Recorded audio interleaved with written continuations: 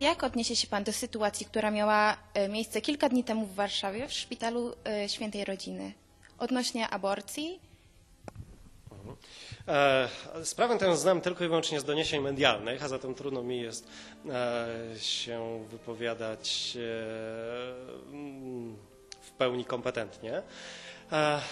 Ale na podstawie tego, co usłyszałem, jeśli e, ustalimy, że do przerwania ciąży doszło z mm, przyczyn e, zgodnych z ustawą o planowaniu rodziny, czyli przesłanka została e, określona spełniona i można było legalnie przerwać ciążę. Lecz w wyniku tego zabiegu przyszło na świat zdrowe dziecko, zdrowe, żywe dziecko, to nie ulega wątpliwości, że w tym momencie od przyjścia na świat mamy do czynienia z człowiekiem i podlega on ochronie prawnej, także ochronie z punktu widzenia norm prawa karnego. E, Nie chcę tutaj dokonywać absolutnie kwalifikacji prawnej e, czynu, z którym e, mieliśmy do czynienia. Mm, Jedynie pragnę zwrócić uwagę na, na pewną schizofreniczną sytuację, z którą mamy tutaj do czynienia i nie jest to sytuacja nowa, bowiem tego typu sprawy już pojawiały się w latach mm, 60. XX wieku w Polsce. Mianowicie mamy do czynienia z sytuacją, w której lekarz działa jako osoba, która w tym wypadku mm, występuje przeciwko życiu ludzkiemu. E, oczywiście e, działa w granicach prawa, a już za chwilę e, zobowiązany jest do tego, by to życie, które przed chwilą chciał przerwać i do którego mm, zniszczenia przykładał rękę, ma ratować. No oczywiście jest tutaj e, z punktu widzenia spójności aksjologicznej e, dosyć dużo wątpliwości. I teraz takie odmienne pytanie. Co skłoniło Pana, by zostać prawnikiem?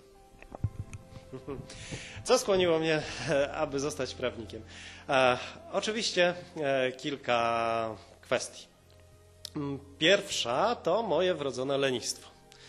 E, otóż, e, gdy byłem w liceum, naiwnie myślałem, że skoro jestem, czy wówczas wydawało mi się, że jestem humanistą, mm, to nauka prawa nie, nie sprawi mi większych trudności.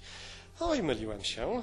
E, prawo to nie jest tylko i wyłącznie nauka humanistyczna, wręcz przeciwnie, bardzo wiele jest elementów z zakresu nauk ścisłych, jak chociażby logika prawnicza, którą zresztą później się zająłem e, profesjonalnie. E, ale to był, to był jeden z tych motywów. Pomyślałem, że to są studia dla mnie, ponieważ będę w stanie sobie e, na nich poradzić. Dodatkowo dosyć naiwne miałem wyobrażenie wówczas na temat pracy zawodowej prawnika. Oczywiście głowie miałem obrazy tylko i wyłącznie z jakichś filmów, ewentualnie książek, które przeczytałem e, i wydawało mi się, że tym właśnie jest praca prawnika. Po studiach dosyć, dosyć e, może nie tyle rozczarowałem się, bo już w trakcie studiów e, dowiedziałem się, na czym de facto polega praca, praca prawnika.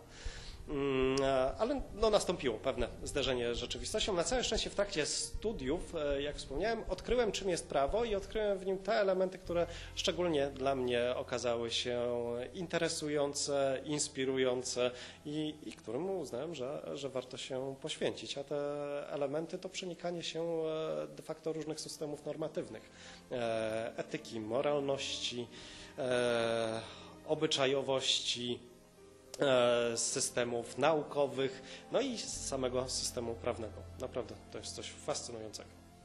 Dobrze, a co mógłby Pan doradzić przyszłym prawnikom? Przyszłym prawnikom, no to skoro jeszcze nie są prawnikami i rozumiem, że jeszcze nawet nie są studentami prawa, to sugeruję im usiąść i zastanowić się, co chcieliby w życiu robić. I zastanowili się, posługując się na początek tylko i wyłącznie tym, co mają między uszami, czyli swoim rozumem. a zatem e, zastanowili się, jakie mają predyspozycje, co ich e, interesuje, co wiedzą na temat prawa. Jeśli niewiele wiedzą, i w szczególności studiów prawniczych, to zapraszam ich na wydział. Wykłady są otwarte. Niech przyjdą, posłuchają, zobaczą, jak, jak wygląda wykład, załóżmy, z prawa karnego, z prawa cywilnego, konstytucyjnego itd., itd. i czy jest to coś, co faktycznie jest dla nich e, interesujące.